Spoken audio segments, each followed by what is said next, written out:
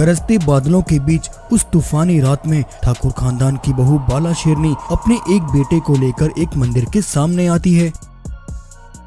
देखते ही देखते मेरी आँखों के सामने मेरी सारी दुनिया उजड़ गई। मेरे पति और मेरा बच्चा दोनों मार दिए गए। भगवान आखिर मेरे साथ ऐसा क्यों किया? तभी इतने में एक भालू एक नन्हे सफ़ेद शेर के साथ बाला शेरनी के पास आता है। जाको राखे साइया मार सके ना कोई। क्यों भगवान से शिकायत करती हो? ये देखिए ये रहा आपका बेटा। बाला भालू के साथ अपने बेटे को ज़िंदा देखकर बहुत खुश होती है। मेरा बच्चा मेरा बच्चा भी ज़िंदा है। हाँ बाला बहन तुम्हारा बेटा बिल्कुल ठीक है। ये मुझे नदी में तैरता हुआ मिला। लगता है इसे काला डाकू ने पहाड़ी से नीचे फेंक दिया था। भालू क्या तुम मेरा एक काम करोगे भाई? भाई, महारानी जी, आपने मुझे भाई कहा। मैं आपके लिए अपनी जान भी दे दूँगा। बताइए, महारानी जी। मेरे बेटे को ये नई ज़िंदगी तुम्हारी वजह से मिली है। इसलिए आज से ये तुम्हारा बेटा है। लेकिन याद रखना इसकी परवरिश तुम फूलों की तरह नहीं, बल्कि एक पत्थर की तरह करना। तुम इसे वो फौलाद बनाना, जिसके सामने बड़ी से बड़ी चट्टान भी टूटकर बिखर जाए। मेरे पति की इच्छा थी कि मैं अपने बेटे को फौजी बनाऊँ। अब मैं उनकी वो आखिरी इच्छा ज़रूर पूरा करूँगी। मैं अपने इस बेटे को फौजी बनाऊँगी और अपने इन दोनों हथियारों से अपने सुहाग का बदला लूँगी। आज के बाद मैं अपने इस जिगर के टुकड़े को भूल जाऊँगी।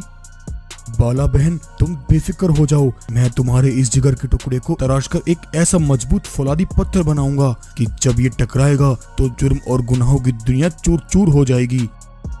ऐसा कहकर भालू बाला शेरनी के उस बेटे को अपने साथ ले जाता है और उधर बाला शेरनी अपने दूसरे बेटे को लेकर उस जंगल को हमेशा के लिए छोड़ देती है। लेकिन बाला शेरनी के परिवार के साथ ऐसा क्या हुआ था, जिसके कारण आज उसने अपनी सगी औलाद को खुद से दूर कर दिया दरअसल आज से कुछ दिन पहले ठाकुर राजवीर, जो पेशे से एक फौजी था, अचानक हुए अपने तबादले के कारण माधोपुर जंगल को छोड़कर जा रहा था। तभी माधोपुर के गरीब और मजलूम जानवर राजवीर के पास आए। अरे तुम लोग यहाँ सब एक साथ। मैं तो खुद जाने से पहले तुम्हारे ही पास आने वाला था। महाराज, इसलिए तो हम यहाँ आए हैं कि आप इस जंगल को छोड़कर ना जाएँ। आपकी वजह से ही तो माधोपुर में इतनी शांति है, वरना ये जंगल कब कब दूसरे जंगलों की तरह चलकर राख हो गया होता।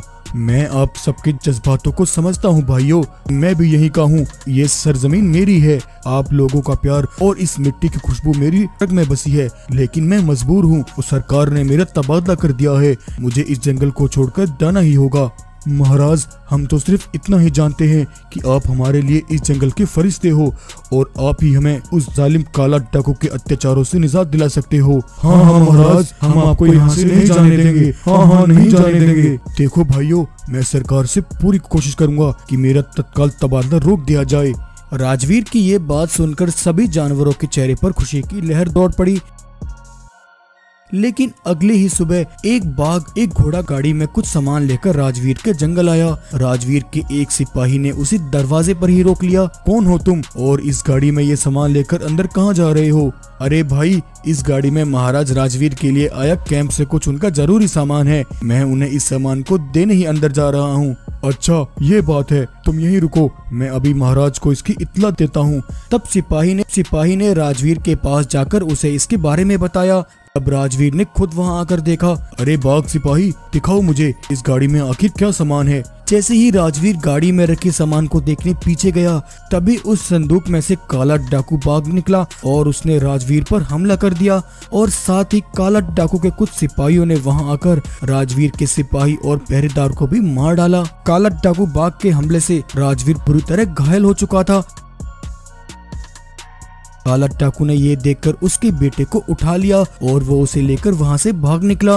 राजवीर, तुम मुझे पकड़कर मुझे सारा जीवन जेल में रखना चाहते थे, लेकिन देखो, मैं ये तुम्हारा ख्वाब कभी पूरा नहीं होने दूँगा। उधर राजवीर ये देख जैसे तैसे उठ खड़ा हुआ और अपने बेटे को बचाने के लिए काला टाकू और उसके सिपाहियों का पीछा किया। काला डाकू भागते हुए एक पहाड़ी पर आकर उसने राजवीर के बेटे को पहाड़ी से नीचे नदी में फेंक दिया और उसका पीछा कर रहे ठाकुर राजवीर पर फिर से हमला कर दिया। लेकिन राजवीर ने हिम्मत दिखाते हुए काला डाकू के सारे सिपाहियों को एक एक करके खून में नला दिया। ये देख काला डाकू ने बड़ी चालाकी से राजवीर पर एक चाकू से वार किया। राज चाकू लगते ही राजवीर वहीं ज़मीन पर गिर पड़ा और वहीं उसकी मृत्यु हो गई। लेकिन जब तक काला डाकू बाग वहाँ से भागता, भारतीय सेना के सिपाहियों ने काला डाकू को चारों तरफ़ से घेर लिया।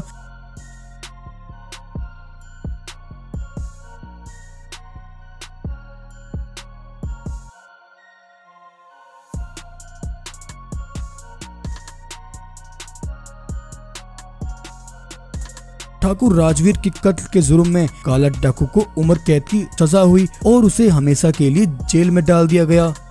जब बाला शेरनी को राजवीर की मौत की खबर मिली तो वो अंदर से बिल्कुल टूट गई और उसके मन में बदले की आग डल उठी। और वो काला डाकू से बदला लेने के लिए अपने एक बेटे को लेकर अपना जंगल छोड़कर यहाँ चली आई। बाला शेरनी ने अब ठान लिया था कि उसे कैसे भी करके अपने बेटे को फौजी बनाना है, ताकि उसका बेटा अपने पिता के हथियारों से बदला ले सके। इसके लिए बाला ने अपने बेटे को फौजी बनाने के लिए भारतीय सैनिकों के साथ उसे कैंप भेज दिया। उधर भालू भी बाला के दूसरे बेटे को अपने साथ ले आया और उसे अपने साथ रखकर उसका पालन पोषण किया। ऐसे ही कुछ साल बीत गए, जहाँ एक तरफ़ बाला का बड़ा बेटा बगीरा कड़ी मेहनत करके एक फौजी बन गया।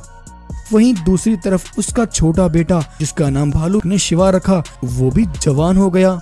एक दिन बाला शेरनी बाज़ार से सामान लेकर अपने घर लौट रही थी कि तभी रास्ते में कुछ लुटेरे बागों ने अचानक से बाला को घेर लिया। सुन शेरनी, तेरे पास जो कुछ भी है, जल्दी से वो हमें दे दे, वरना हम तेरे टुकड़े टुकड़े कर देंगे। बाला ये सुनकर घबरा गई। तभी पीछे से ज़ोर की एक दगा लगाते हुए शिवा वहाँ पहुँचा और उसने लुटेरे बाघों पर एक के बाद एक हमला किया और एक एक करके सबको ढेर कर दिया। बेटा तुम्हारा बहुत शुक्रिया। आज तुमने मुझे इन बाघों से बचा लिया। क्या तुमने मुझे बेटा कहा?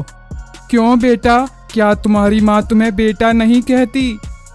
मुझे तो ये भी नहीं मालूम कि मेरी माँ कैसी थी लेकिन आज तुमने मुझे बेटा कहा तो मुझे ऐसा लगा कि मेरी माँ भी बिल्कुल तुम्हारे जैसी होगी। जीते रहो बेटा मेरा आशीर्वाद तुम्हारे साथ है। ये कहकर बाला वहाँ से चली जाती है लेकिन बाला को इस बात की बिल्कुल भी भड़क नहीं लगी कि उसके सामने खड़ा वो सफ़ेद शेर उसका अपना ही बेटा शिवा है। उधर आज बगीरा सालों बाद फौजी बनकर अपनी माँ के पास वापस अपने घर लौट रहा था। उधर दूसरी तरफ़ आज काला डाकू बाग के सिपाही कारागार पर हमला करके वहाँ मौजूद सारे सिपाहियों को मार डालते हैं और, वो अपने सरदार काला डाकू को आज़ाद कराकर वहाँ से फरार हो जाते हैं। काला डाकू एक घाटी में आकर अपने कुछ सिपाहियों से मिलता है। सरदार, तुम्हारे लिए एक बहुत बड़ी खबर है। सालों पहले आपने अपने जिस दुश्मन को मौत के घाट उतार दिया था, उस राजवीर का बेटा हिंदुस्तानी आर्मी में फौजी बनकर आज अपने घर वापस लौट रहा है। हा हा हा हा हा। इसका मतलब उस बाला, इसका मतलब उस बाला शेरनी ने वो फौजी मेरे लिए तैयार किया है, लेकिन मैंने भी कसम खाई है। मैं राजवीर के वंश को बर्बाद कर दूँगा। उधर बगीरा जब सालों बाद अपनी माँ के पास वापस आता है, बाला अपने बेटे को फौजी की वर्दी में देखकर बहुत खुश होती है। बेटा, आज तुम्हारे पिता का सपना पूरा हुआ। अब तुम्हें उस जालिम काला डाकू बाग से अपने पिता की हत्या का बदला लेना है। काला बघीरा से इतना कह रही थी कि तभी काला डाकू बाघ अपने सिपाहियों के साथ वहाँ पहुँचता है और चालाकी से एक तीर बगीरा की ओर चलाता है। तीर लगते ही बगीरा ज़मीन पर गिर जाता है और उसके शरीर से खून बहने लगता है हा हा हा हा हा हा। बाला तो ये था तेरा बेटा फौजी जिसे तू मेरे लिए तैयार कर रही थी। ले देख आज तेरा बेटा भी ज़मीन पर बड़ा धूल चाट रहा है। मैंने भी कसम खाई है कि मैं तेरे वंश को कभी नहीं पनपने दूँगा। खून से लथपथ तड़पते हुए थोड़ी देर में बगीरा की मौत हो जाती है। बाला बघीरा को देखकर बहुत दुखी होती है। तभी वहाँ तभी वहाँ खड़ी एक गाय ये देखकर फ़ौरन वहाँ से भागती है। और भागती हुई भालू के पास जाकर उसे बाला के बेटे बगीरा की मौत की सारी कहानी बताती है। हे भगवान बेचारी बाला बहन के साथ ही बहुत बुरा हुआ। लगता है अब वक्त आ गया है। मुझे शिवा को वो राज बताना ही होगा। तब भालू शिवा को लेकर बाला शेरनी के पास पहुँचता है। शिवा बाला मैं तुम दोनों को आज वो राज बताने वाला हूँ जो मैंने तुम दो, दोनों से छुपाया है। बाला बहन शिवा तुम्हारा वही बेटा है जिसे बचपन में तुमने मेरे हवाले किया था। और शिवा, बाला ही तुम्हारी असली माँ है। ऐसा ऐसा कहकर भालू बाला और शिवा को सब बताता है। बाला ये सुनकर बहुत खुश होती है कि उसका बेटा शिवा आज भी ज़िंदा है। बाला दुखी होकर शिवा को उसके पिता की मौत की सारी कहानी बताती है।